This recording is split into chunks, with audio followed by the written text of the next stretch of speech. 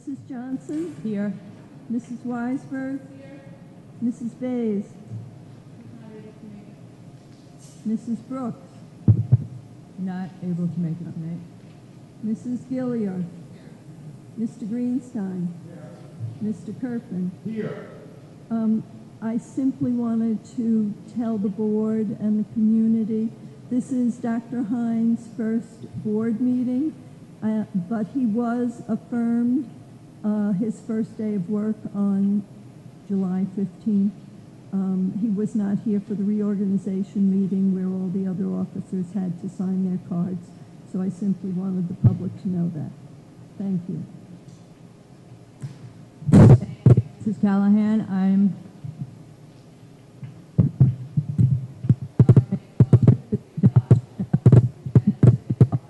2019. Do I have a second? Okay, Dave, all in favor? Thank you. Um, We will now uh, move to student and community comments. I just also want to announce that we're going to be doing something a little bit different. Uh, There's a sheet of paper up at the podium, and for each person who comes up and comments or makes, asks a question, we would like you to put down your name and your email address so that it'll be um, easier for us to get back to you with the response. So um, please do so when you get up. Any questions or comments from the community?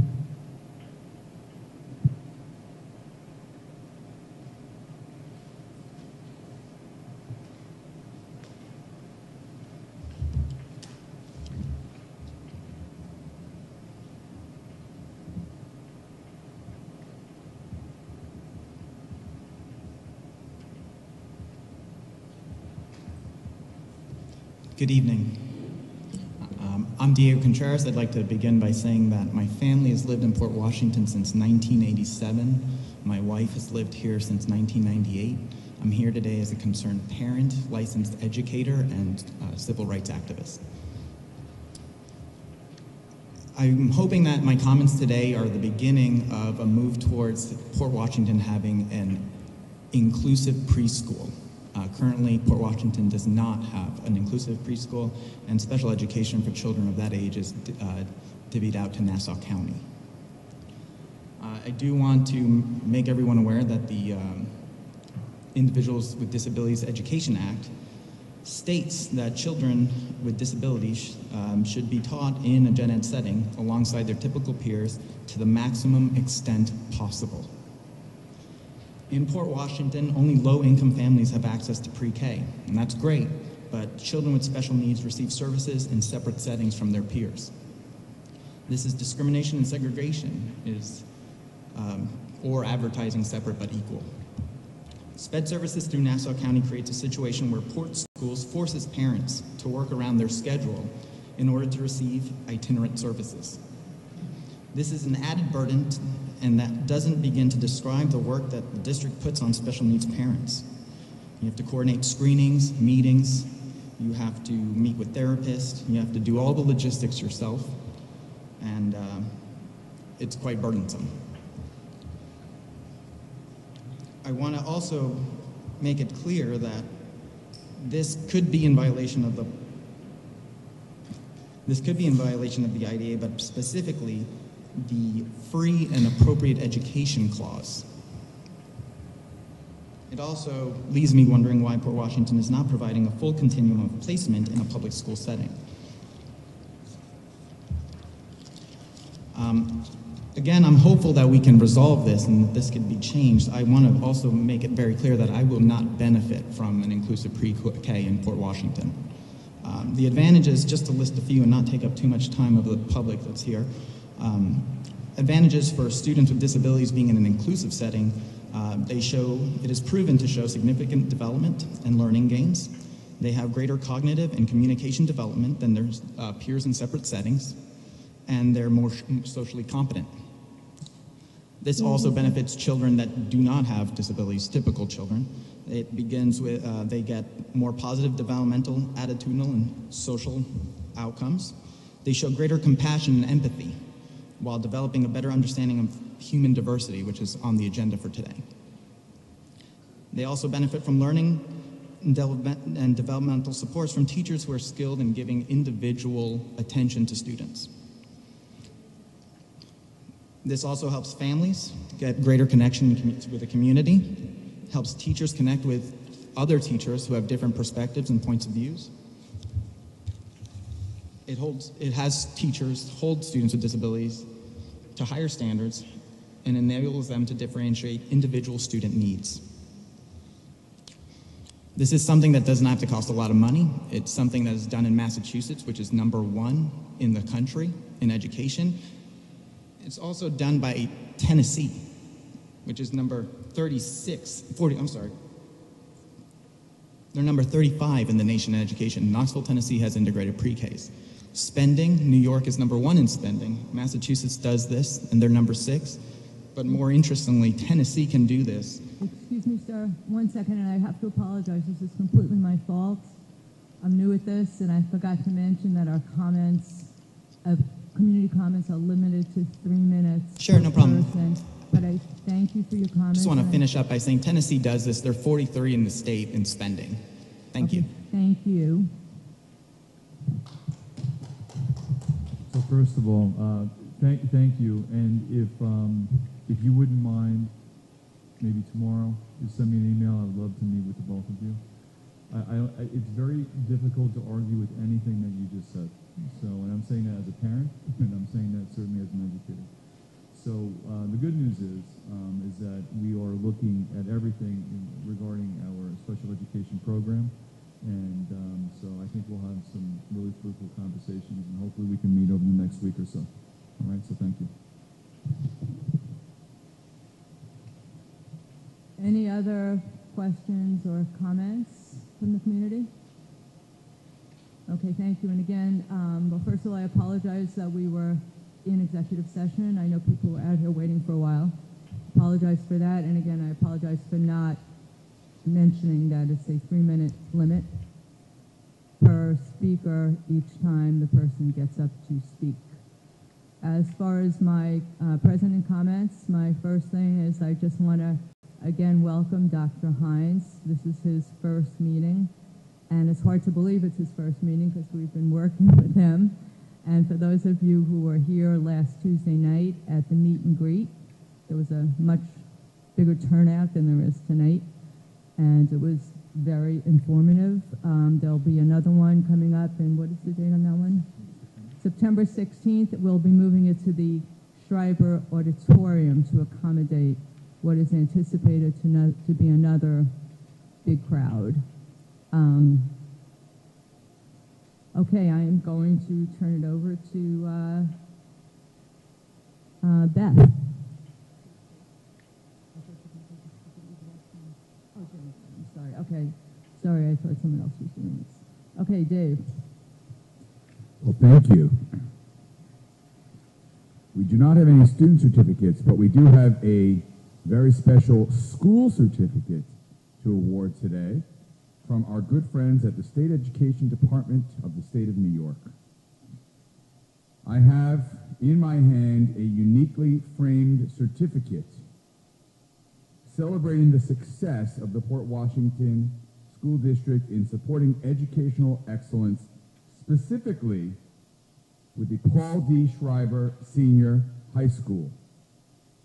In fact, in celebration of New York State schools that have high academic achievement, growth, and graduation rate and have made progress during the 2017-2018 school year, our school has earned the distinction of being, wait for it, a recognition school. So, um, on behalf of the entire uh, Paul D. Schreiber Senior High School, I would like to call up its esteemed principal. Please give it up for Ira Pernick.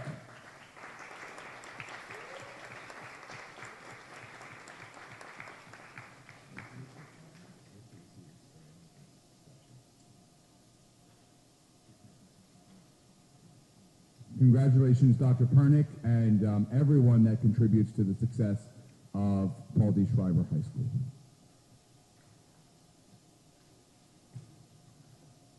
Okay, I'm going to make a, congratulations, Dr. Pernick. I am going to make a motion for the um, approval of the minutes from uh, the July 1st, 2019 reorganization meeting. Do I have a second, Dave? All in favor? Okay, now also another um, motion for the approval of the minutes from the July 1st, 2019 general meeting. Do I have a second? Dave? All in favor? Okay. Um, I don't know, for those of you who have seen the agenda, the discussion item for tonight says uh, diversity and safety. That is actually the diversity committee, which is an ad hoc committee of the Board of Education, and the safety and substance abuse? Task force. Safety and Substance Abuse Task Force. Now, these are two committees that have been operating for the last, um, I would say at least eight years each. They're comprised of board members, of community members, of teachers, of other staff, and they've been doing work, um, good work behind the scenes, and you've seen probably the results of some of it through different events that the Safety and Substance Abuse Task Force has held, such as speakers coming in to, to talk about um, use of opioids or driving while under the influence and things like that. With respect to diversity, the committee has also been doing a lot of work to bring our very diverse community together and to um, be inclusive and welcoming to everybody in Port Washington. Both committees, as I say, have been working, and the thing is, we haven't really talked about them in the meeting, and we've decided that going forward, we will do like an update on each committee's work, um, probably once a month, because the committees do meet monthly, and depending on what's going on, you know, at each board meeting. So you'll be seeing that in the future.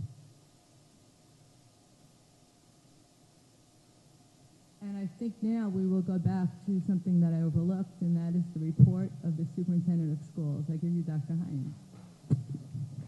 All right, thank you, President Johnson. Um, actually, I'm going to ask Dr. Shields if you wouldn't mind just to give us a quick update uh, regarding enrollment. Of course. Uh, and I want to thank the community for the warm welcome I've received in my new role in central office. As we're monitoring the summer enrollment, um, we focus mostly on kindergarten.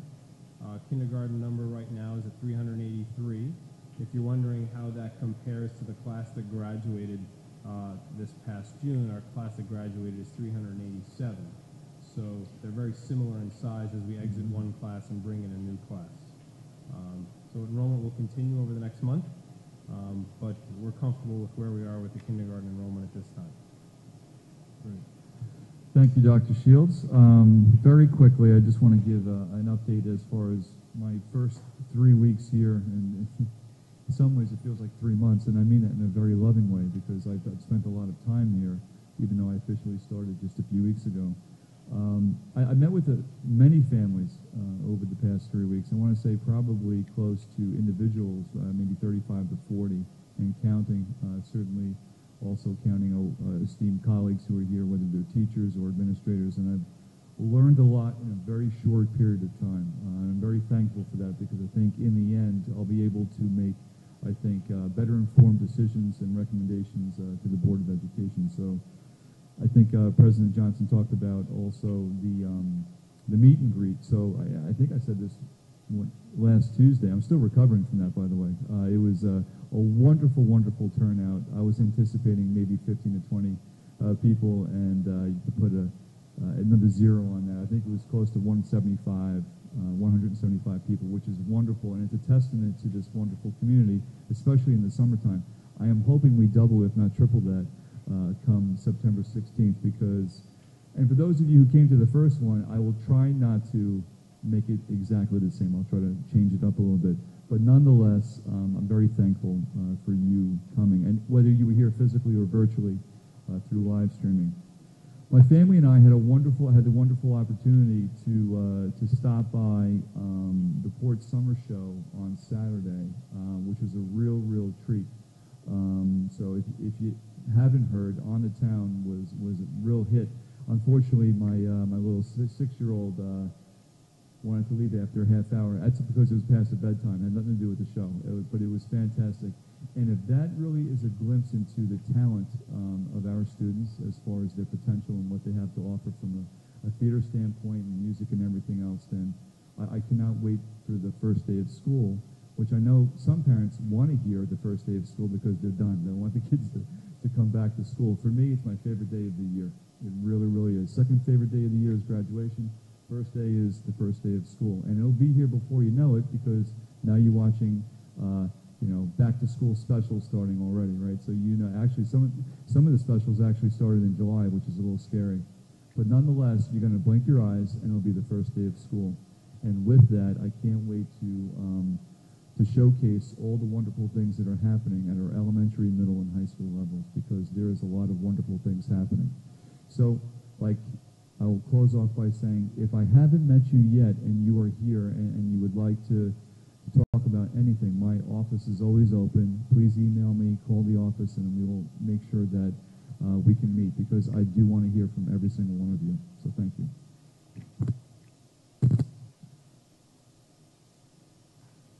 Thank you, Dr. Hynes. Uh, Committee reports. Um, I don't know if any of the committees have met since the last time, but I do know that we have a, is there anybody from policy and personnel who has anything to report? Okay, uh, I know budget and facilities, I believe we do have a meeting coming up. Did you? You are correct. Am I? May I share the details? Please do so. Fantastic. The all-new and improved Budget and Facilities meeting will commence Tuesday, August 13th. That's a week from today, 10 o'clock a.m. at the Daly Annex. And stay tuned because the agenda will be posted tomorrow online. I hope you will all uh, check out our website tomorrow to see the agenda. And more important, I hope to see you, everyone here, as well as all the people watching at home at our Budget and Facilities meeting next Tuesday, August 13th, 10 a.m. Thank you, Mr. Kirkman. Uh, Curriculum Committee, I know that we've uh, set goals for the year. But uh, I think the schedule will be, is the schedule published yet or no?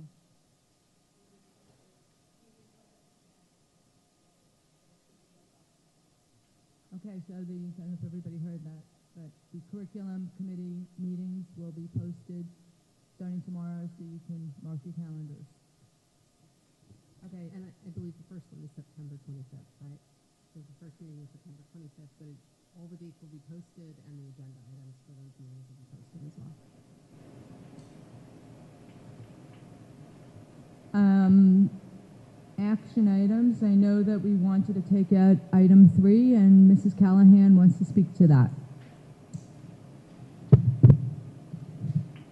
Item three is the authorization for the tax levy for the budget that was voted on in the affirmative by the community. The resolution basically lists the budget of $160,556,916, along with the levy, which is $140,955,639. Uh, the form that the board does have to sign in duplicate also lists the library budget and the library levy. So I am asking you to please approve this resolution as will be amended tomorrow because there's something that doesn't seem accurate in the library's levy. They're listing it as the total amount of their budget, and that really is not an accurate number. So that will be corrected before it goes to the county, but certainly this has to get to them by the 15th of the month. So I need a voice vote for each board member, uh, yay or a nay. Um, Mrs. Johnson? Uh, yes. Ms. Weisberg? Mr. Greenstein? Yes. Mr. Kerpen? Yay. Thank you. I'll pass the forms. Oh, Miss Gilliar, I'm sorry. Thank you. All the other items can be taken as you usually do. Okay, and we're going to sign um, after the meeting, or is it? No, I'm going right now? passing them. Okay. Thank you. Um, okay, so I am moving to approve action items A1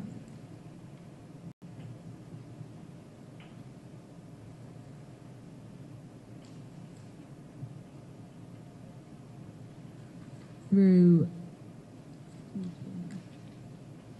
D12. All those in favor? Oh, do I have a second? Yes, Dave, thank you. All those in favor? Okay, I just also want to make mention of three very generous gifts to the district. We have a gift by the um, Ed Foundation. Thank you to the Ed Foundation for their generosity. We have a gift from the um, Weber HSA. Thank you very much.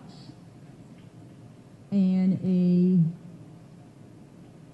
donation from the Brodsky Family Foundation. And I thank you to the Brodsky family and the foundation. Okay, next item is, um, we have two board policies that are on the agenda tonight for adoption. Uh, policy A is 5105, education of students in foster care. Do I have a second for the adoption of that policy? Okay. Um, Mr. Greenstein, second? Okay. All those in favor? Thank you. Second policy is policy 5153, education of homeless children. Do I have a second? Mr. Kerpen? All those in favor? Thank you. Any old business? Any new business? Okay, uh, second opportunity for the community to be heard, and I'm reminding people that there's a three-minute limit to your comments. Anybody? Okay, the meeting is adjourned. I want to thank everybody for coming out tonight on this beautiful summer night, and enjoy the rest of the summer. Thank you.